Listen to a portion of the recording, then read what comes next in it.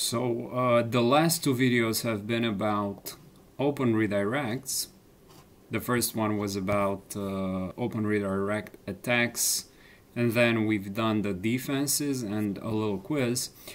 And now in this uh, video and the next one we're to look into unencrypted communication. So it's to be the same format as it's been for uh, this uh, entire series.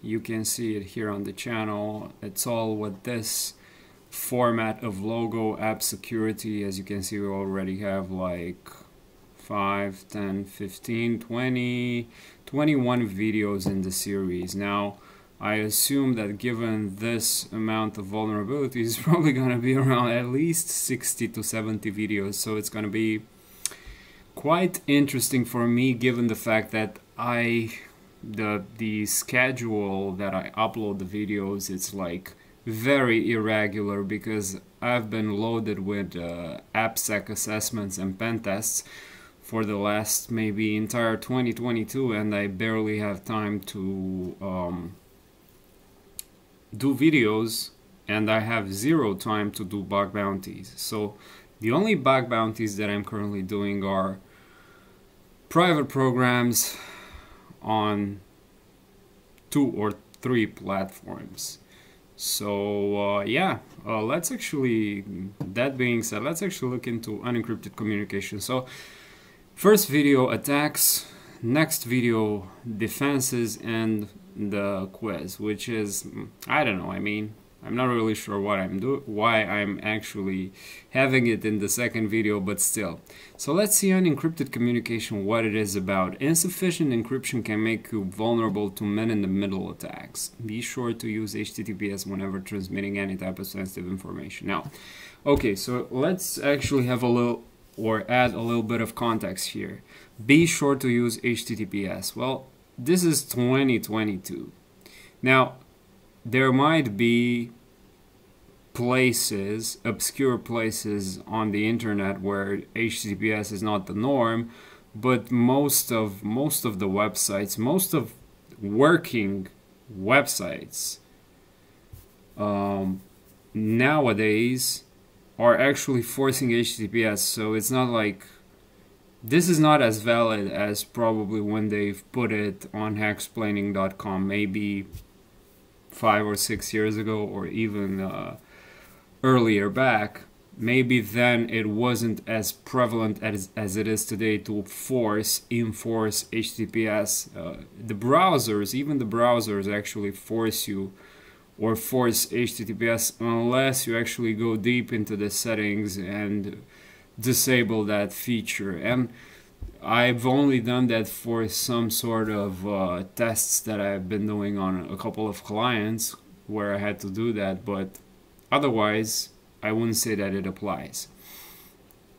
TLS is a cryptographic protocol that allows client server applications to communicate across the network in a way designed to prevent eavesdropping and tampering. Website authors should ensure any sensitive communication is done over HTTPS, which makes use of the TLS protocol. However, hosting and renewing certificates requires a little maintenance. It's often tempting to get lazy about following best practices. I would say that's not the case because most often than not, renewing certificates or the price of certificates is actually zero from a lot of host providers. Plus, renewing and um, yeah, renewing the certificate is actually a single click action. So regardless. It's important then to keep in mind what uh, risks we run if we don't use encrypted communication. So of course, if so, I'm not actually gonna keep on saying that this is not happening nowadays, but let's actually uh, see what would happen if this is the case. Uh, let's look at, uh, they say to look at an example of how hackers can take advantage of unencrypted communication through uh, men, through, not though, a man-in-the-middle attack. So in this case, someone actually eavesdrops eavesdrops on your communication. Let's say, for example, in a Wi-Fi, in a public Wi-Fi, they actually sort of like take over the Wi-Fi, look at the entire communication. They see your communication, which is unencrypted, plain text, but still, that's a scenario from like 20 or 2008, 2010 Mel is a hacker. Today um, is his day off from hacking, but he enjoys his job so much he has decided to do some recreational hacking. Spare time hacking is the best hacking. Mel takes his laptop to his favorite coffee shop, so yeah, public Wi-Fi. Buys a coffee and makes himself comfortable. One mocha frappuccino with uh, the tears of an orphan. The cafe has a free Wi-Fi for its caffeine swilling patrons or patrons but not Patreons. So Mel knows a lot of uh, people coming here with laptops. Ooh. Mel lays his trap by setting up his own Wi-Fi hotspot with an ambiguous name, hoping to trick people into using it. Yeah, his hotspot proxies traffic uh, proxies traffic through the internet, but he also sets up a network sniffer so he can inspect any traffic. Well, this is sort of like 2008 game, but still. Uh, for those of you who know Backtrack, passes through. Stan is a customer. He has a hard day getting owned at work and needs coffee to unwind. Okay. He connects to a likely looking hotspot, not knowing that Mal is watching his uh, even more. This crumbles guest Wi-Fi, I guess. Yeah, so technically this could happen nowadays, but why would you do that? It, it probably probably happens intentionally. It's not like I would go if I were a malicious hacker. It's not like I would go randomly in a public cafe or some place with open Wi-Fi and just steal people's credentials for what? For a couple of I don't know credentials for what exactly? Because I don't care about other people's private stuff, to be honest, unless I would be hired by someone to actually target a certain person and then actually try to do something about it maybe but still i think it's